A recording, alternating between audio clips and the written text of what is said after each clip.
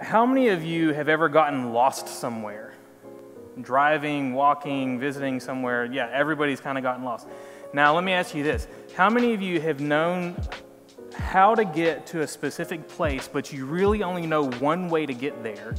And if you ever turned the wrong way or you had to take a detour, all of a sudden you were completely lost.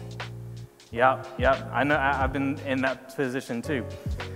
The, the most extreme example I have of that for me is when I, I had gone to South Sudan and had stayed there for a month.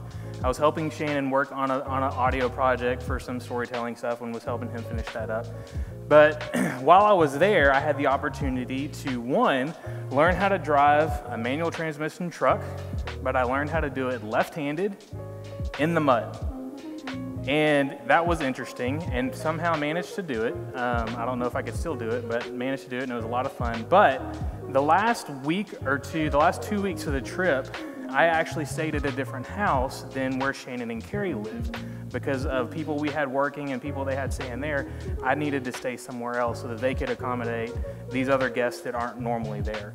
And so I had to drive back and forth between these two houses. Now, if you look at these two locations on a map, it's really simple to get there. You come out of the Lewis's compound, you turn right, you go straight for about a mile, and you turn left, and the house is right there.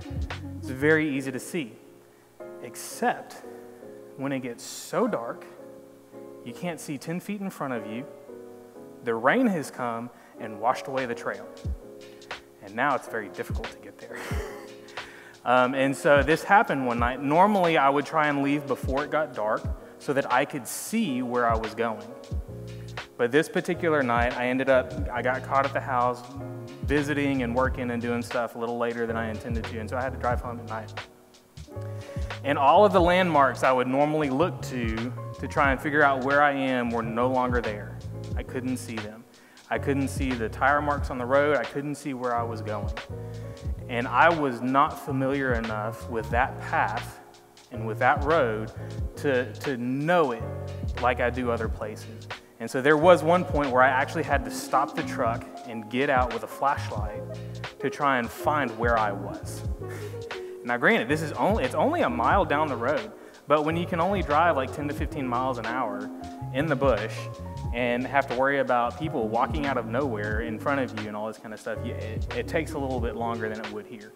And so I managed to find, okay, this is the road, this is where I need to go. Got back in the truck and managed to get there without having to call Shannon and without having to worry about that, and finally got home so I could go to bed. but all that to say, I, I needed to know I needed to know the path. I needed to know the course that I was on, and I needed to be able to stay on that course. And I recognized what, when I got lost, the thing is, is that I was able to recognize that I was no longer on the path. And so tonight, what, we, what I want to look at is knowing how to recognize and being able to be familiar enough to be able to stay on that path, to keep our path right, to keep it pure, and to keep it straight.